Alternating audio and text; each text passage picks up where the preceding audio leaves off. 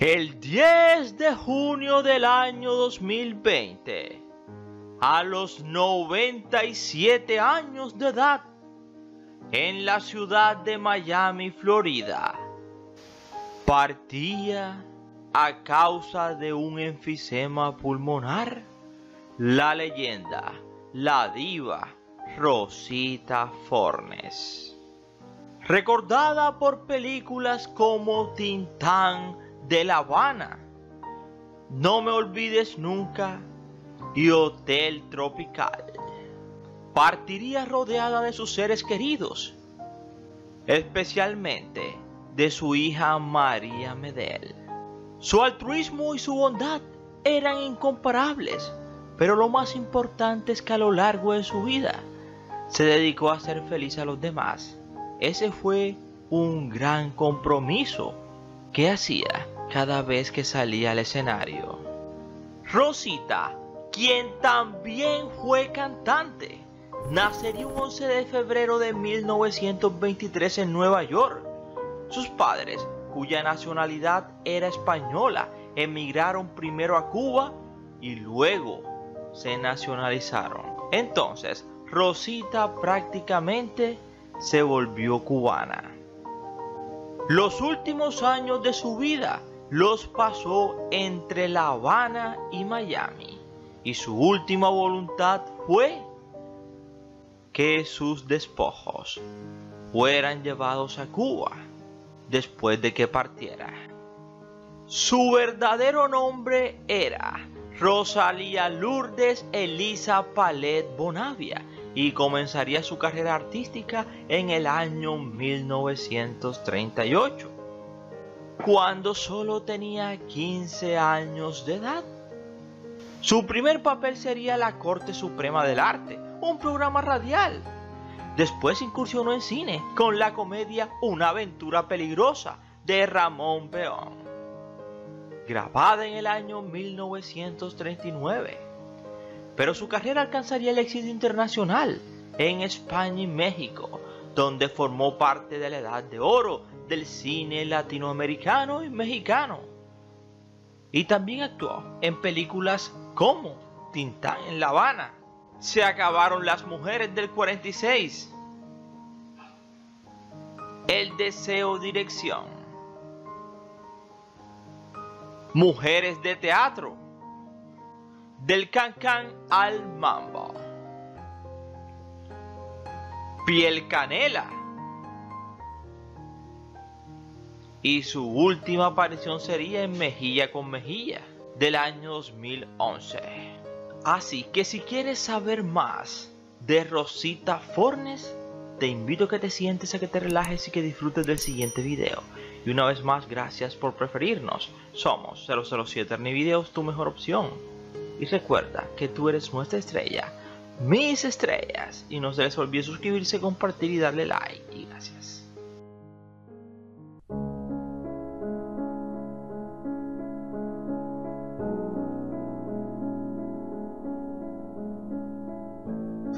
Nacido un 11 de febrero de 1923 en el Woman Hospital, en la calle 110 de la avenida Amsterdam, en Nueva York.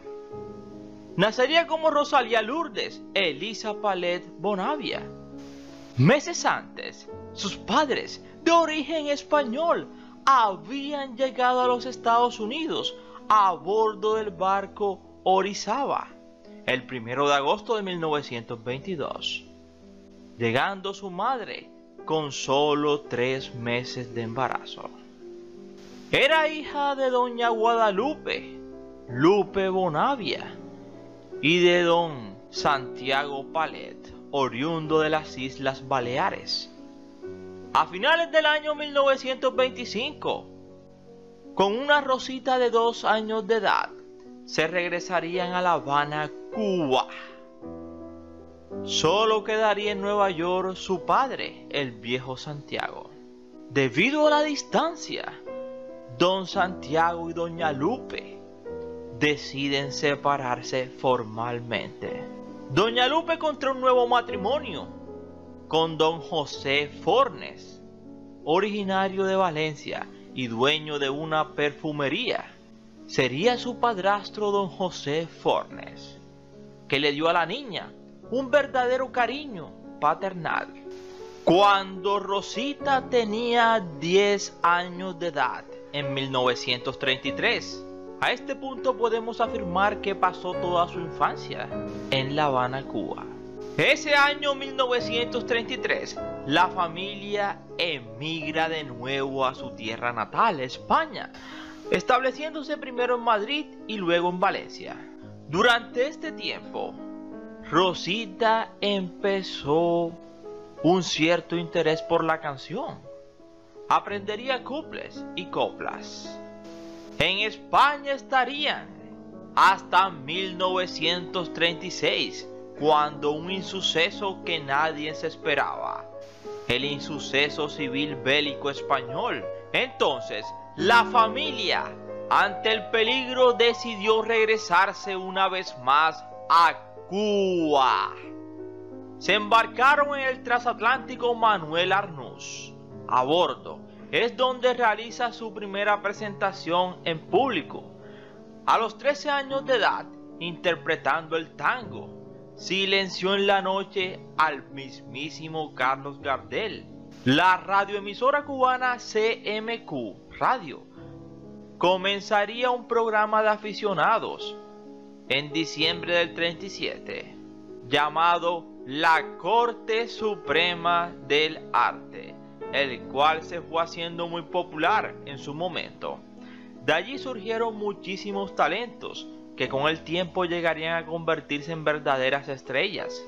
Como característica peculiar del concurso, los concursantes eran eliminados a través del toque de una campana. Rosita pidió e insistió una y mil veces a su padre que le permitiera participar en aquel programa radial, hasta que los convenció. O sea, su padrastro, porque su padre vivía en Nueva York, el viejo Santiago.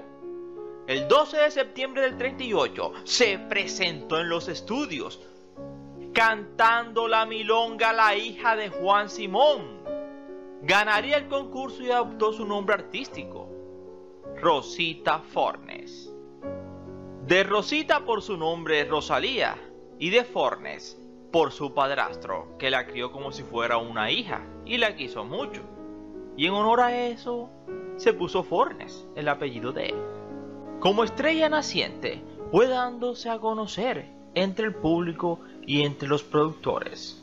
Ramón Peón se fijó en ella y la convenció para que debutara en la película Una aventura peligrosa, cantando por primera vez una canción cubana.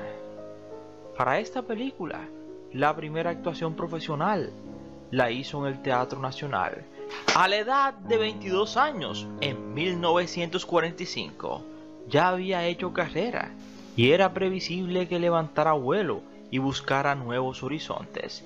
La nueva conquista fue México. Debutaría en México. En la película El Deseo de Chano Urueta, una adaptación de una novela. Haría otra película se acabaron las mujeres del 46, lo mismo que la carne manda del 47. También actuó en Cara Sucia del 48, Mujeres de Teatro y del Can Can al Mambo.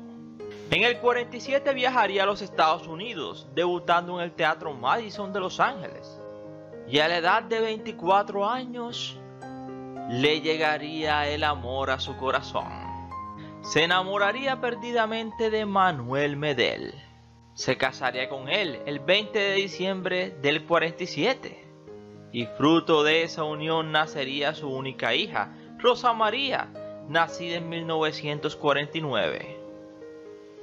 En el 50, parte a Venezuela al frente de una compañía de operetas para debutar en el Teatro Nacional de Caracas. Pero tristemente, Cinco años después de haberse casado, el matrimonio empieza a flaquear.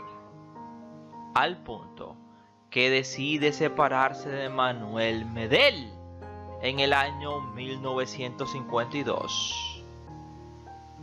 ella decide regresarse a Cuba junto a su hija, Rosa María. Allá se produciría su debut televisivo. Lo hizo en el espacio Gran Teatro, con la opereta La Casta Susana. En Cuba conoce a Armando Bianchi, con quien a partir de ese momento se enamoraría perdidamente. Primero unirían sus carreras y más tarde toda su vida. Era el año 1952 y empieza una relación con Armando Bianchi. La relación duraría hasta que Armando Bianchi partiría el 28 de julio del año 1981.